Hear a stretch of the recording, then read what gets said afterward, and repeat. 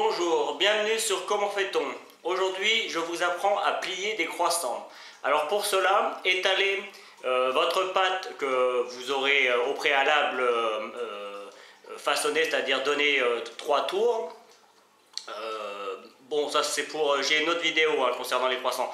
Aujourd'hui, il s'agit que du pliage. Alors, étalez votre pâte de façon à ce qu'il y ait un demi centimètre d'épaisseur. Il faut que ce soit pas trop épais, mais pas trop fin non plus. Puis, commencez par découper les bords de façon à ne pas avoir de, petits défauts. Voilà, alors j'en fais juste une partie pour, euh, pour vous faire voir.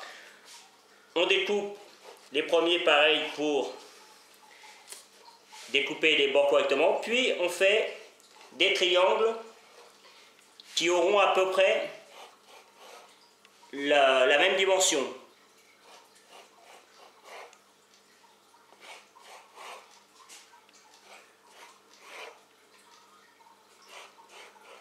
Voilà. Alors, je laisse ce petit bout là.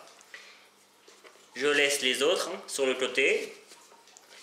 Et je vous ferai voir comment...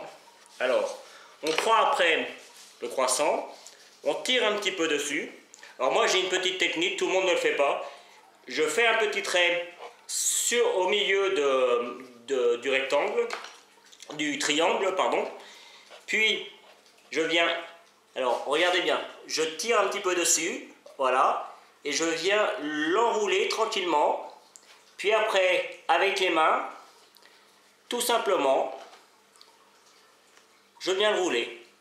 On fait en sorte que la petite languette elle reste bien en dessous pour pas qu'elle se déplie. Et voilà, votre croissant est terminé. C'est pas plus compliqué que ça. Alors, je vais en faire un pour vous refaire voir. On fait un petit trait au milieu. On vient plier de cette manière. Puis, avec la paume de la main, des deux mains, je veux dire, on vient rouler. On appuie et voilà. Alors faites en sorte que les deux côtés soient de la même distance, ce sera plus joli. Bon, ça n'a pas une grande importance, mais c'est juste une question de, une question d'aspect. Alors une dernière fois. Évidemment, si vous voulez les faire plus petits, hein, euh, vous pouvez. Hein, euh, euh, voilà, un peu plus rapidement ce coup-ci.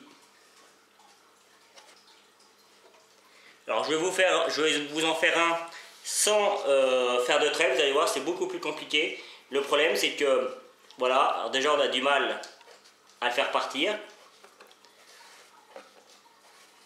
Voilà. Et ça donne pas un aspect euh, aussi parfait. Mais ça, ça marche quand même, hein. Euh, c'est pas, pas vilain. Hein. Moi j'aime moins, mais bon, voilà. Voilà, j'espère que ça vous aura convaincu, ça vous aura aidé. N'hésitez pas à regarder, regarder, regarder. Puis si vous avez besoin d'un conseil, n'hésitez pas à me demander. A bientôt sur Comment fait-on?